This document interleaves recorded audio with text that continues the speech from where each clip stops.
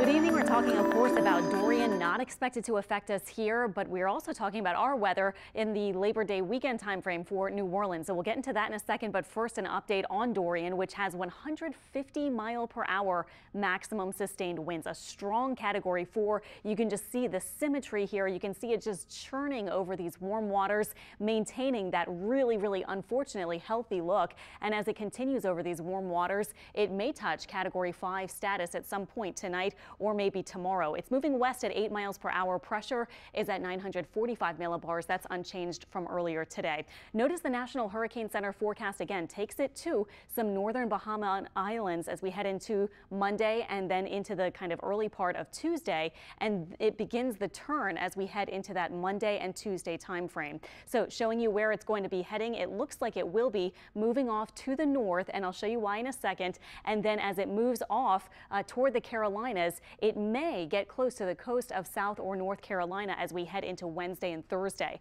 I wanted to show you that the path, if you haven't seen it yet today or maybe from earlier today, it has shifted off to the east. So the center here uh, of the forecast path is off the coast of Florida and actually the margin of error just now includes parts of northeast Florida. It does not any longer include the Gulf of Mexico or really much of the Florida panhandle at this point.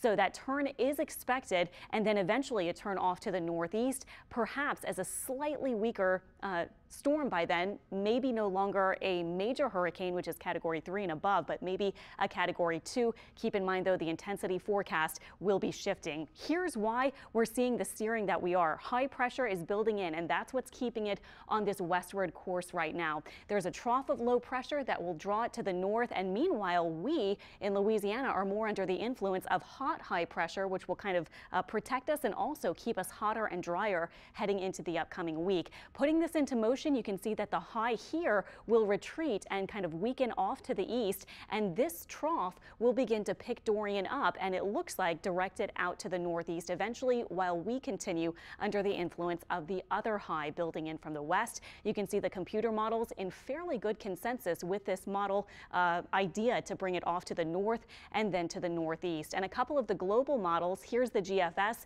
keeping the center offshore on Monday, get, getting very close to South Carolina as we head into Wednesday, and then keeping it right along the coast of the U.S., maybe right over land or perhaps just offshore as we head into Thursday, and finally brings it away from us by Friday and Saturday. So this is a storm, unfortunately, that we're going to be talking about for many days, all the way through Thursday and Friday. And again, next weekend, it will still be off the coast of the U.S., it looks like, moving away. As we head into our Euro model forecast, a little bit different. It really intensifies it here in these warm waters near the Bahamas. It brings it off to the north, very close to the Carolinas Thursday and uh, Wednesday even for South Carolina, and then eventually brings it off to the northeast as we head into next weekend as well. So again, something we will be talking about for many days. A lot will depend, of course, on how close it gets to the Florida coastline as opposed to farther away. Here in New Orleans, 94, that was our high today. Feels like 98, could be a lot worse because our humidity was cut back a little.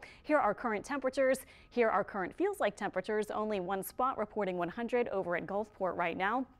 And as we look at our dew point temperatures, those have been on the lower side as well in the 60s as opposed to 70s. So I noticed a bit of a break in humidity today. I'm thinking you probably did too, but that changes tomorrow. Our live radar scene is quiet. Our evening forecast brings our temperatures through the 80s and then tonight we'll have 70s for lows, mostly clear skies. And then tomorrow we will have an increase in some showers and storms, about a 40% chance. And we'll also keep that into Labor Day too, about a 30% chance on Monday due to some low pressure to our south, bringing in some more moisture and adding uh, rain chances, uh, which will be going up just a little bit, but you can see then going down rapidly by Tuesday and Wednesday. It's